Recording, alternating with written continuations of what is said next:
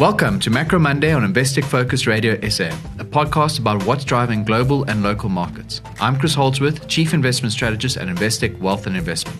Every Monday morning, I'll update you on key developments from the past week and what you need to know about the week ahead. If you'd prefer to watch a video with the graphs and charts I referred to in the podcast, just go to investec.com forward slash macro Monday. Good morning. It's quarter end. So instead of the usual weekly update, what we thought we'd do this week is give a brief summary of some of the key outputs of several investment committees that have met over the past week and a half. We'll look at the output of our Global Investment Strategy Group. That's a committee dedicated to coming up with the global risk score. How risk on or risk off should we be across the entire business? Then we'll have a look at some of the output of our Global Asset Allocation Committee, which looks at asset classes across the globe and implements the risk view of GISG, but in a more granular fashion. What should our allocation be, for example, to US equities versus European equities, US fixed income versus European fixed income? And then finally, we'll have a look at some of the output of our South African Asset Allocation Committee that takes into consideration our views on the globe, but incorporates our local considerations. Like, for example, where are interest rates going to go? How do we incorporate the elections next year? How do we incorporate the electricity situation? And GISG, which sits right at the top of our investment process, is made up of investment professionals sitting in our UK, Switzerland, and SA offices the Global Asset Allocation Committee, similarly, is made up of individuals sitting in our UK, Switzerland, and SA offices, and then the South African Asset Allocation Committees focused on SA. We're going to start off with the growth outlook. The consensus view at the moment is that the US economy is likely to grow by around 2% this year. We think that number is optimistic. We think it's likely to be a bit lower. We've spoken over the past couple of weeks about several indicators that suggest that the US economy is likely to slow sooner rather than later. An example of an indicator like that is bankruptcies in the US. If you look at total bankruptcies in August, it was running at the highest number we've seen in August since 2009. So you compare all the Augusts for each year, this year's August is, extremely elevated relative to recent history. And there's a range of other indicators too suggesting that the US is likely to slow. Where we agree with consensus is that the consensus forecast for next year is that the US economy will grow by around 1%, which is roughly in line with what's expected in Europe and in Japan, which is a slowdown from this year. And again, there's likely to be a slowdown in China too. So, broadly speaking, over the next 12 to 18 months or so, there's likely to be a slowdown in economic growth, we need to bear that in the back of our minds when looking at markets. Real GDP growth is likely to slow over the coming 12 months, and inflation is likely to be lower over the next year than it was over the last year, which means that nominal GDP is going to be slowing as well. So, in general, it's likely to be an environment where it's quite tough for markets. That leads to a disconnect. The consensus forecast is for a slowdown in economic activity, but simultaneously, the consensus forecast for earnings growth in the US is very optimistic.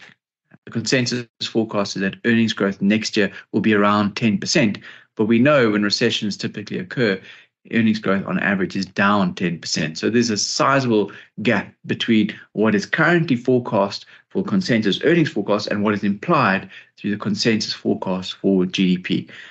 Now, that is by itself is a concern. But in addition to that, the US equity market trades on a premium multiple relative to those extended earnings forecasts. The US is on a forward PE of around 20 or so. That's a 20% premium to normal. There's opportunity elsewhere in the globe. Europe, UK, South Africa all trade at sizable discounts relative to normal. And in some of those cases, we're less concerned about the earnings forecast. So, in net summary, amongst other reasons, this provides a justification for an underweight in US equities. And given the weight of the US in global equities, actually, this implies an underweight in global equities. And that is our current position. There are a number of different ways of looking at valuation. We've got our own proprietary model, which suggests that the US is trading at about a 50% premium to Europe, which is the highest that we've seen. But you can also look in forward PEs, EV, EBITDA, price to book, all of those measures suggest that the US trades at a sizable premium relative to Europe and the rest of the globe, and that premium is close to the highest that we've seen in at least 15 years or so. We hope you're finding this podcast valuable. If you are, please take a moment to rate Investec Focus Radio SA on your podcast platform. And to make sure you don't miss an episode, please remember to follow us. There is some good news in the not too distant future. If you look at interest rates in the US, they're currently the highest relative to inflation that we've seen in 15 years. The US is running very restrictive monetary policy. Now, that's unlikely to persist for very long. On the assumption that inflation remains behaved, we expect that rate cuts are not too far away, around six months or so in the US. And that should provide some support for global economic activity. So our concern is really limited to the next six to nine months or so from an economic perspective. Thereafter, we start to see rate, rate cuts, and gradually that will provide some support for economic activity. It's a similar story in South Africa. We're running the most restrictive monetary policy that we've seen in 15 years. And given that we expect inflation will be well behaved in SA, more on that coming up, we see that there's limited reason to believe that the, the SARB won't be cutting within the next six to nine months or so, and that should provide support in the local market. With regards to our inflation outlook, we expect inflation will remain within the band until year end, getting to around about 5% or so by December.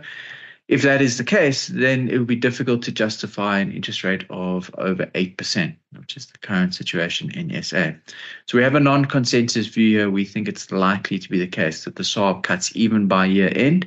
And if they don't cut by year end, we think it will be in Q1 next year. By the way, the market has very limited faith in the inflation outlook for South Africa. We can back out the market's expectation for inflation from the bond market. The market expects inflation in SA to get to around 7% within the next few years and then to drift up to around about 10% within the next 10 years. We think that's very unlikely. And as a result, we think there's opportunity in South African fixed income, which is just reflecting a very unrealistic inflation view in our view and is offering a significant margin of safety.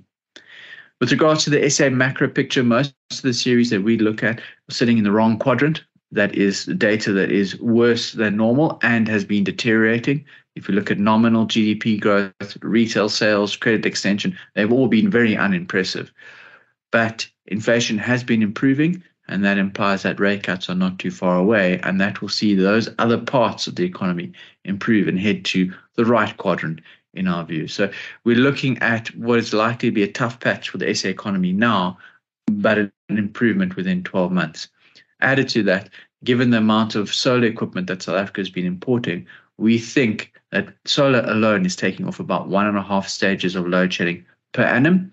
And as a result, that we we expect that we're going through the worst sort of load shedding now. With regards to Eskom, the energy availability factor at the moment is slightly higher than this time last year. The deterioration is, is slowing, um, but this is not the reason for us expecting reduced load shedding and reduced diesel costs for SA Inc. over the next 12 months. It's really because solar, we think, is going to come to the rescue. On the RAND, the RAND is materially weaker than our estimate of fair value. Even if we assume that South Africa is removed from AGOA, our estimate of fair value is around 1750 or so, rather than the current 19. So we're not in any rush at the moment to increase our offshore allocation especially not into a US market that's trading on a forward PE of around 20. So, in brief summary, we do expect that the global economy is likely to go through a tough patch. We're worried about global earnings forecasts, specifically for the US. We think that the US is trading on a too elevated multiple relative to those earnings forecasts. So, we're looking for opportunity outside of the US. But nonetheless, in aggregate, we're underweight global equities. We are overweight fixed income outside of South Africa, as some form of insurance against an impending slowdown in economic activity. Within SA, we do see sizable opportunity. Our local market is cheap on a forward P of nine with a reasonable outlook for earnings, but our local fixed income market is even more attractive, we think, with yields well above inflation, and well above peers. It is the case that we've got an election next year, and as a result, we'll probably find that Treasury and, and the budget in February is not as fiscally prudent as we would like. But nonetheless, the margin of safety in South African fixed income is so sufficiently large that we have remained overweight there. We are overweight SA Inc. too. We think reduced diesel costs and improving uh, volumes as a result of a cut to interest rates should be very supportive for earnings and for SA Inc. share prices. And that's where we're going to leave it for this week.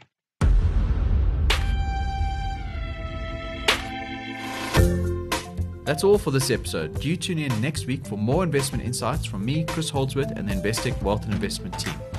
If you haven't yet added us to your podcast feed, you can subscribe to Investec Focus Radio SA wherever you listen. And Please take a minute to rate our podcast so we can surface this content to the broader investment community. If you want to see the graphs that are referenced in the podcast, you can watch a video version of this recording at investec.com forward slash macro Monday. The views expressed are those of the contributors at the time of publication and do not necessarily represent the views of Investec Wealth and Investment International and should not be taken as advice, guidance, or recommendation. Investec Wealth and Investment International, a member of the JSE Equity, Equity Derivatives, Currency Derivatives, Bond Derivatives, and Interest Rate Derivatives markets, an authorized financial services provider and a registered credit provider.